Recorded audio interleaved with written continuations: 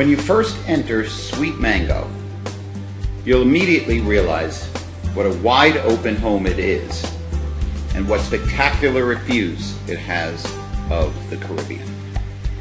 You walk out onto your veranda, look out over our gardens,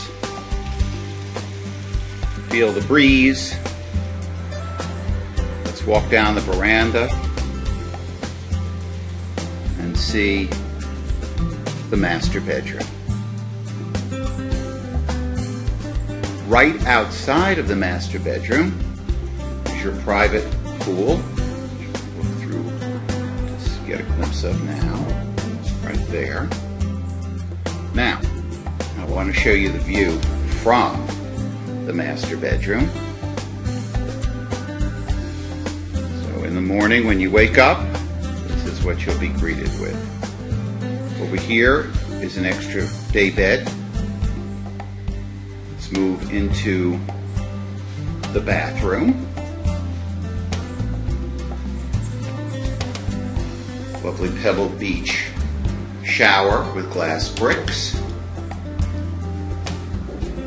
Moving on, we enter the living room kitchen area. Let's move over to the kitchen. You'll see in the kitchen, full kitchen providing four burner stove, coffee maker, microwave, toaster oven, full refrigerator. Now let's take a look at where you might be eating. Bring your food here for lunch or for dinner or for early morning coffee. Now we're heading back into the guest or the second bedroom. Move into here. Over here is the bathroom of the second guest bedroom. Glass bricks, beach stone. We have two beds here and a lovely view as well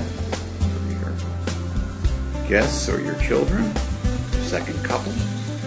We walk out here, see all the bougainvillea. Now I'm going to point us down so you have a view of the veranda. So you can see that Sweet Mango is beautifully located, well appointed kitchen,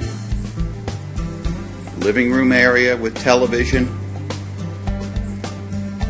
great outdoor furniture, and we'll leave you with this parting shot of the lovely Caribbean Sea.